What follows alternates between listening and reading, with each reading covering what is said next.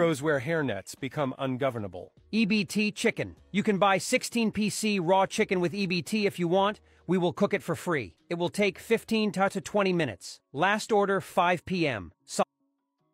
I love that shit. That's fucking great. Solidarity. For those who don't understand, EBT are food stamps, government money for buying food for low-income people. Because the money is from the government, it comes with horrific restrictions, one of which is you cannot buy prepared food with it. You can only buy raw chicken, not cooked chicken, for example. This Which, by the way, is like really fucking stupid. It is just another example of like the blatant means testing, um, done not for like anybody's actual benefit or like it doesn't actually save money. It's just you know after fucking Bill Clinton decided, hey, I uh if you can't beat them, join them, and we've and you know just perpetuated it even even with like marginally lefter than the than Republican. Still, ultimately, like all of that means testing bullshit is you know, the reason why people why uh the economy is so much worse.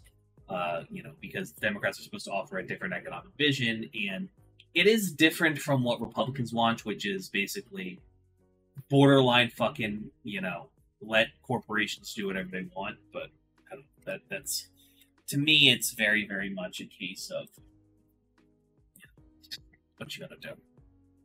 Kitchen is getting around that stupid rule by selling you raw, unprepared chicken and then charging your EBT account for raw, unprepared chicken. Then as a side thing, totally unrelated, they cook the chicken for free. Since you bought raw chicken with the EBT, it's legal. There's no law against cooking people's raw chicken for free for them. That's just charity. This Yep, and and again, not all heroes wear capes. Some of them wear hairnets.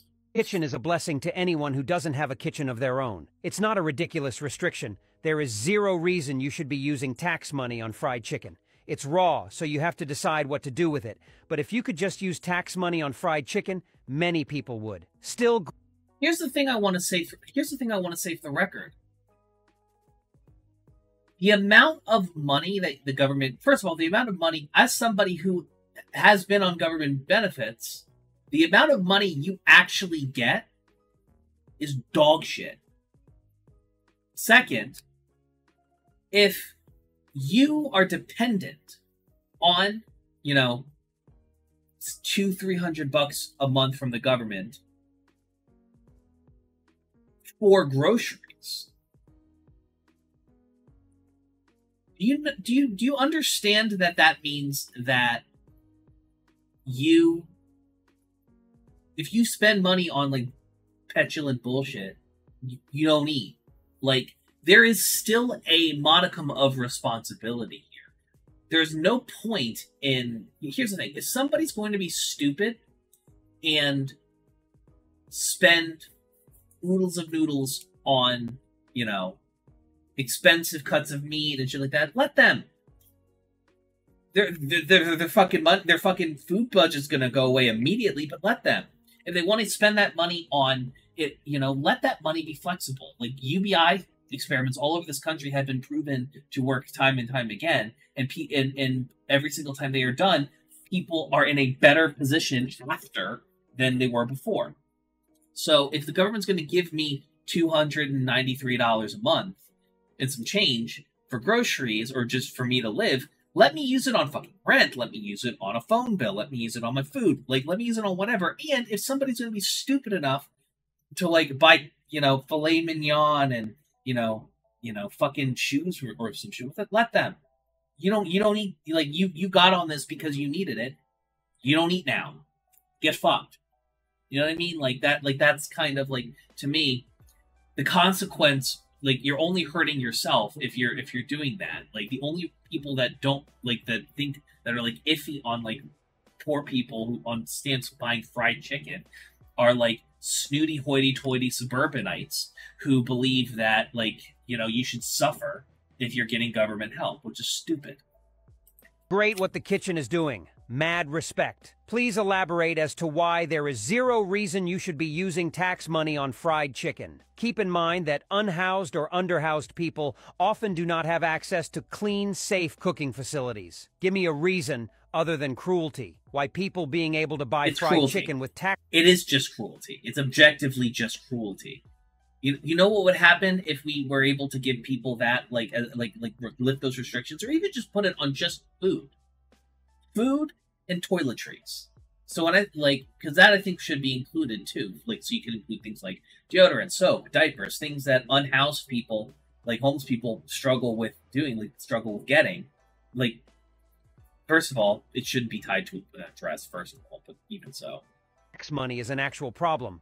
Of course people would. Why wouldn't they? What would be wrong with that? It's unhealthy. Yeah, I'm cruel also. What you gonna do about it? IDGAF. You shouldn't be buying luxuries with government assistance. It's assistance. It's to help you get you back on your feet during a trying time. You do not to be eating fattening, unhealthy food with taxpayers' money. I What what the fuck is somebody with with a hot what the fuck is somebody with a hot plate and like or, or uh, what the fuck is an unhoused person or a person without like reliable access to a kitchen going to do with fucking raw chicken?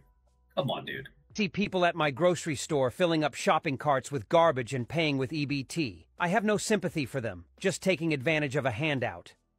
shut the fuck up first of all uh when people like i do this like as, as like i did this you know ultimately when you you go get your groceries once a month you go get your groceries once a month and that's your entire month you were buy when you somebody buys an entire month of groceries which by the way with how much expensive everything is now the amount you get you know from EBT is not enough for an entire month's of groceries. Like I'm on EBT as we speak, you know, while I'm job hunting and and trying to get it get get work. And one of the biggest problems is, you know, you get, you know, like the, a lot like my girlfriend, like we have to share it between the two of us, uh, and and, and for our household. And ultimately, what ends up happening is is that like if I uh, I you know you can't buy lots of meat and vegetables. You have to buy cheap shit. Now you know if you do buy a bunch of cheap shit and you do buy a bunch of like you know bad food that is usually the cheaper food. And that type of food would last longer. I don't really get a fucking say over you know how the groceries are what kind of groceries are get because she'll get the cabbage and she'll get like um um uh what's it called? Like like fruit and stuff which is all great uh and then she'll plan dinners and stuff but then like by the but then like you know we've still got a week and some change before the car gets refilled and and everybody else is out of the house but me right now. Other people are like in the wind and i'm eating oodles and noodles and shit. So you know it, it, it's it's you know the cheap the, the worst food at the grocery store just so happens to be the cheapest and you know that's what people are going to buy like duh Some heroes Hey, thanks for watching. If you want to, you want to talk to me outside of this video, outside of live streams, or just be a join the community and be a part of it, you can do so at himedia.gg slash discord. Discord links there. We'd love to have you. And given the financial situation of the economy right now, I know this is a tall ask, but if you have the scratch to, to spare, please consider donating and becoming a supporter at himedia.gg slash tip. All of our perks are serviced through our Discord channel, including early access videos, exclusive videos, and more. Your generosity is a blessing, and a dollar a month is a boon to my mental health. Thank you so very much for watching. I appreciate you, and have great day.